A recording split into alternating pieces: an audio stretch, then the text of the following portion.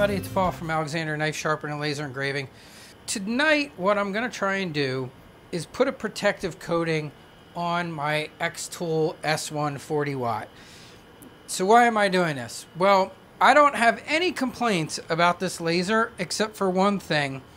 And that one thing, as many of you may have noticed, is that the glass scratches really easily. I mean, really easily. Like the tiniest little thing, and cleaning it even scratches it. So, what I've decided I'm going to do is I have some paint protective film. So, this is kind of like almost like window tint, but it's a little bit thicker. And it's uh, what they put on cars to protect cars from scratching.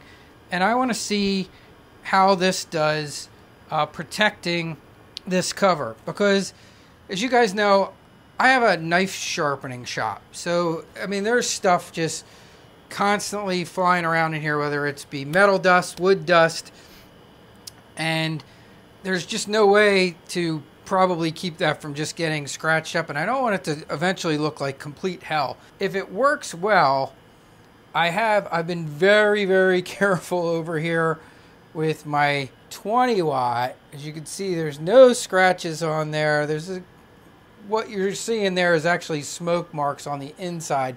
But if it works well on this one, I'm going to put a clear coat on both uh, just because, you know, inevitably in my shop, like things get put on top of here. It just happens. Even I've even had customers come in and do it.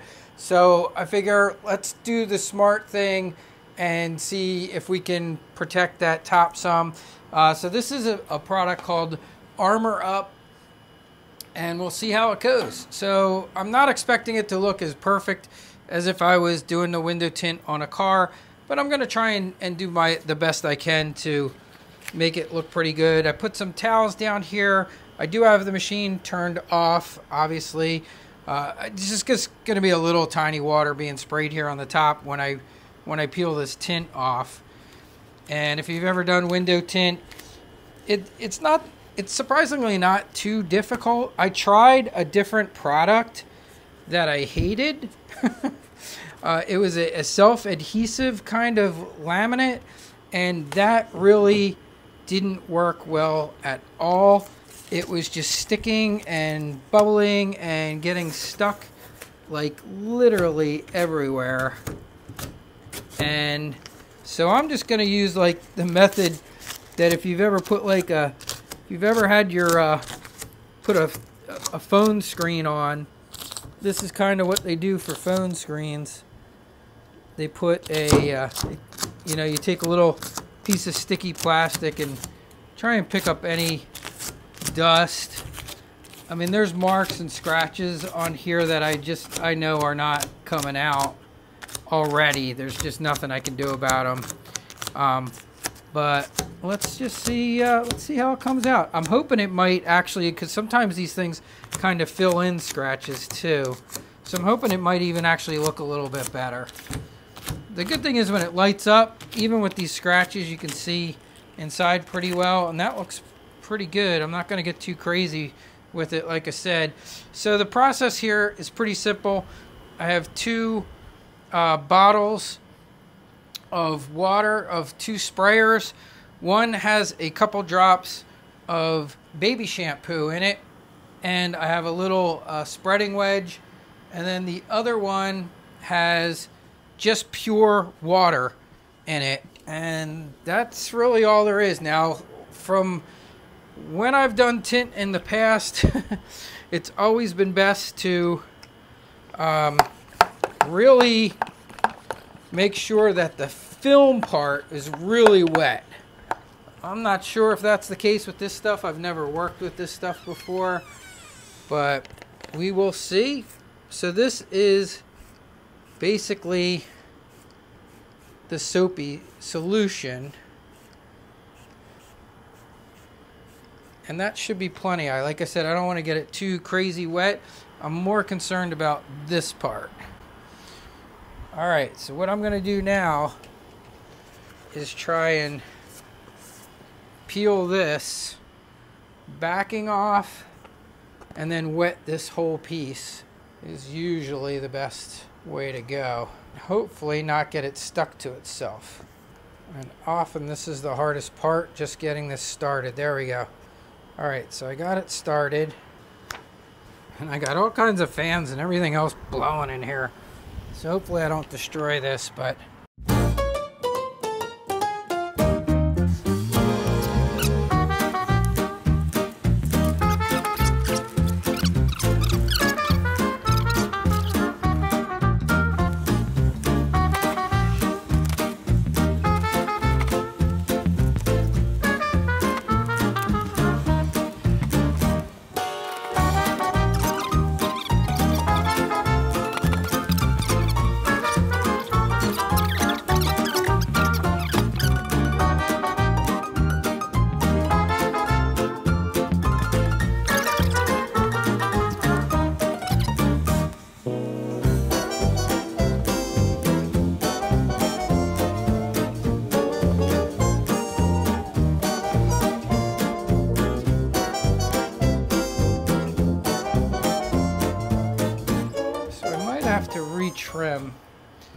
just from my stretching probably stretched the might have stretched the film a little too much.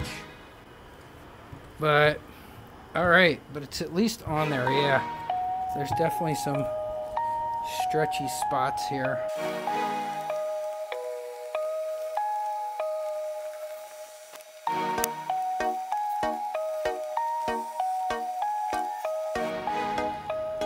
right, guys, so I wanted to show you the finished protective tint film on the 40 watt, and it actually came out fantastic. It hid most of the scratches because it like filled it in.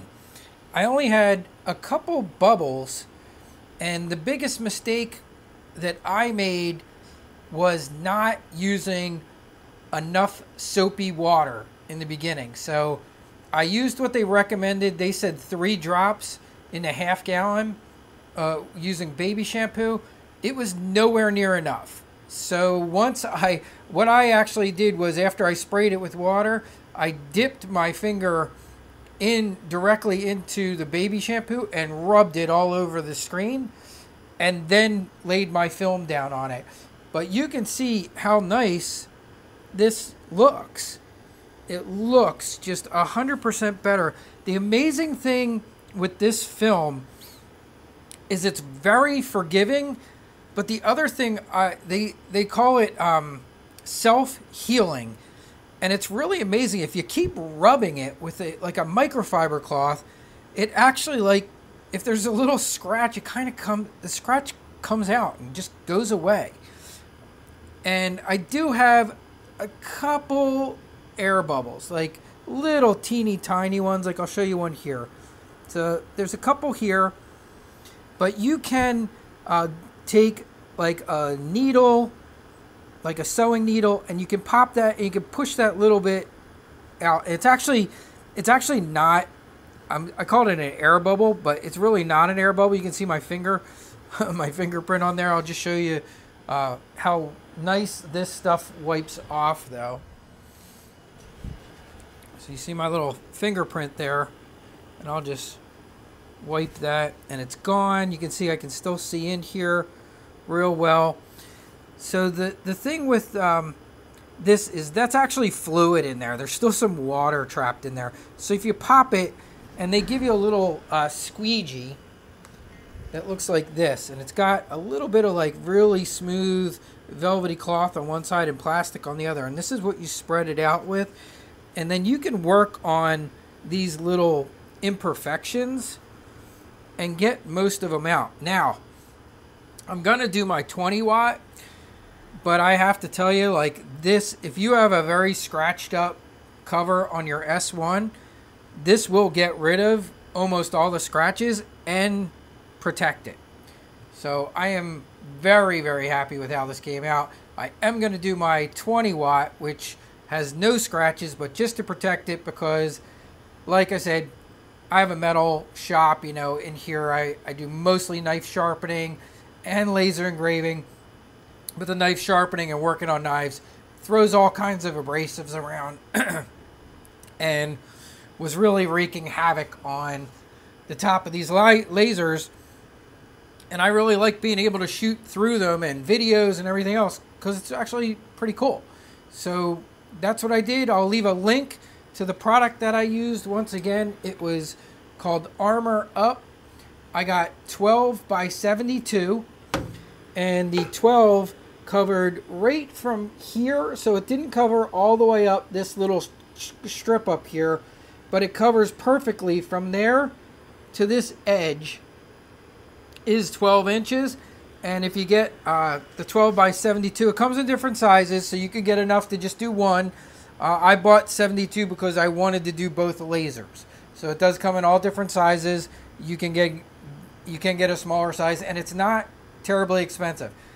Once again, though, number one recommendation: use lots of soapy water. Don't hold back on the soap. Soap up that piece of film really well. Soap up your screen really well put plenty of towels and stuff down.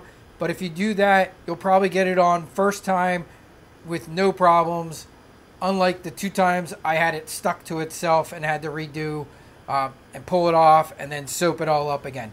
But fortunately, as you can see, this stuff is very forgiving and still let me get a really nice protective coating on top of this S1.